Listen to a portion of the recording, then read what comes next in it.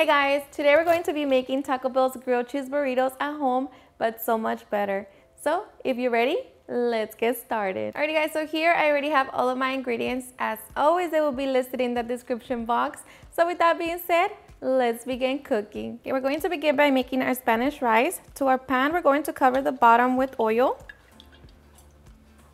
Set it over medium-high heat and allow it to heat up. Once the oil is nice and hot, we're going to add one cup and a half of long grain white rice. And I also like to add a chile serrano. For now, we're just going to fry it for about five minutes or until our rice is nice and golden. Once our rice is nice and golden, we're going to add four tablespoons of tomato paste. Mix it in with the rice. Okay, so once we mix it, we're going to add three cups of water. We're going to season with two teaspoons of chicken bouillon, one teaspoon of tomato bouillon, onion powder, garlic powder, half a teaspoon of ground cumin, and salt. Now just mix it and allow it to come to a full simmer. Once our rice comes to a full simmer, taste it for salt and see if you need to adjust it. For me, this is perfect, so now we're just going to cover it, reduce the heat to the lowest setting, and allow it to cook for 20 minutes. Okay, after 20 minutes, our rice should be done. As you can see, all of the water should have evaporated. So now we're just going to set it to the side so we can cook our meat. Now to make our taco meat, on my pan over medium-high heat, I'm going to be adding two pounds of ground beef. Along with that, I'm going to be adding half an onion, two teaspoons of tomato paste, and I'm using my own taco blend spices. I will leave them all in the description box or you can also use your own.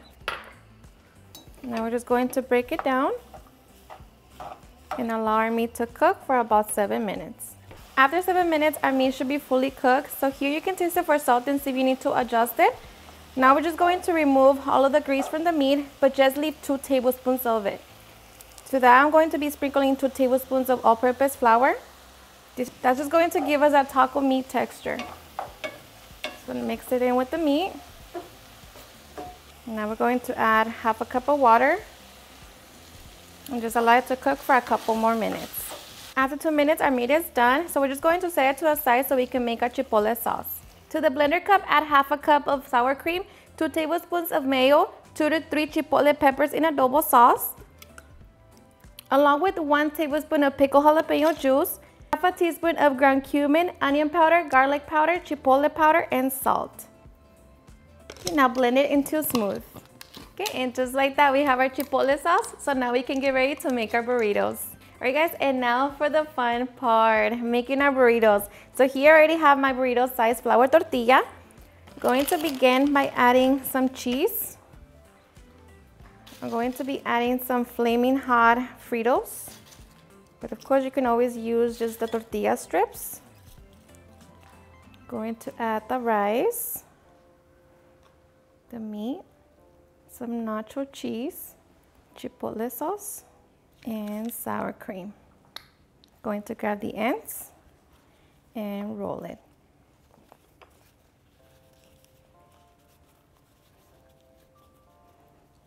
Okay, so once we have our burrito, we're going to take it to the grill. Okay, so here I already have my comal nice and hot. Going to be adding some queso Oaxaca and medium cheddar cheese.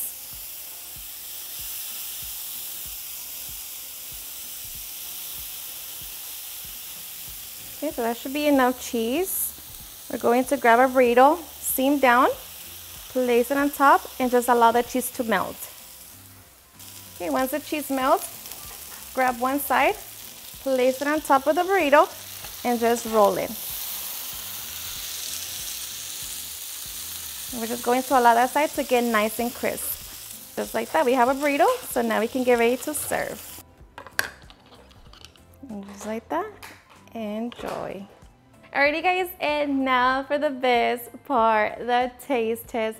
Now let me tell you guys that I hope you give this recipe a try. It's seriously fast, easy, and super delicious. Nothing beats homemade, and this right here is no exception. So hope you give it a try and enjoy it just as much. Cheers and enjoy. Mmm. Seriously, the best. So cheesy, so delicious. Alrighty guys, and there you have it how to make super easy and delicious grilled cheese burritos.